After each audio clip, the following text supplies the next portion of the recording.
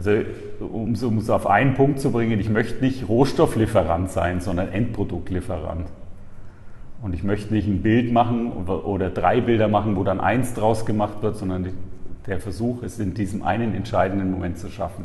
Das ist eigentlich der, der intensivste, auch das intensivste Glücksgefühl, das, was den Job so faszinierend macht. Und nicht am Rechner hinterher fünf Bilder zusammenzubauen. Dann sitzt man nicht da und sagt, wow, bin ich toll, sondern es ist eigentlich der Moment vor Ort, wenn man das Erlebte in, diese, in diesen entscheidenden Sekunde in den Kasten kriegt.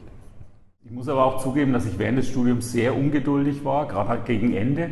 So, das war dann siebtes, achtes Semester, wie es dann auf die, auf die Abschlussprüfung, auf die Diplomarbeit auch zuging, dass ich raus wollte in die Welt und wollte endlich anfangen zu arbeiten.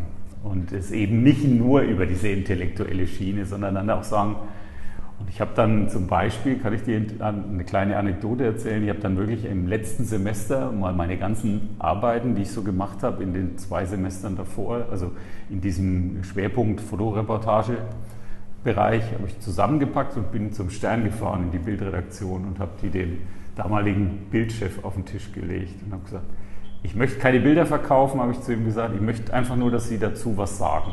Ich möchte gern Ihre Meinung zu meiner Fotografie hören. Und der hat mich so zerlegt. er hat mich so zerlegt damals.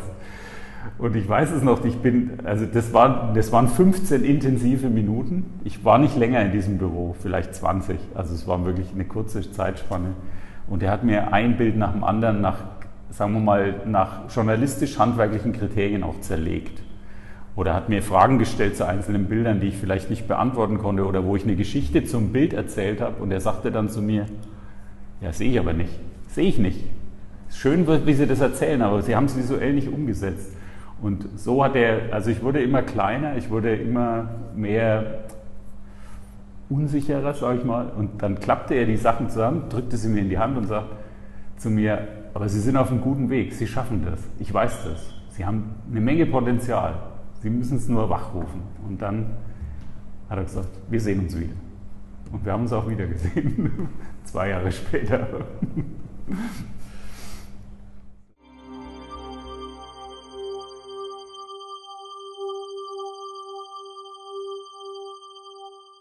Also ich habe eben, wie gesagt, von Stern zwei Jahre intensiv den Formel-1-Zirkus begleitet, habe da jedes Rennen gemacht und bin eben alle zwei Wochen mit diesem Zirkus um diese Welt getingelt.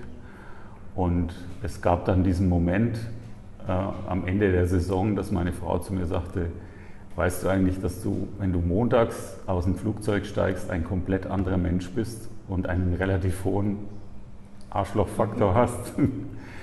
Und äh, das war ein ganz wichtiger Moment für mich, darüber nachzudenken, ob ich das in dieser Form weiter betreiben kann, ohne auch das Familienleben zu gefährden und ohne meine Privatsphäre kaputt zu machen.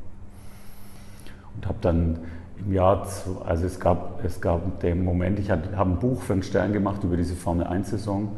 Und dieses Buch war für mich im Endeffekt wie ein Portfolio, mit dem ich bei der Automobilindustrie dann die Türen geöffnet habe. Das haben, haben Leute gesehen, die haben mich dann offensiv angerufen, haben gefragt, ob ich für sie fotografieren kann. Und so kam dann eins zum anderen, dass das so von, erst von Porsche dann zu Audi kam. Und dass ich viel für die gemacht habe, aber viel, extrem viel im Corporate-Bereich. Also ich habe direkt für die Firmen gearbeitet, für die Kommunikationsabteilungen oder mache das immer noch und auch aber, aber Werbung für Agenturen.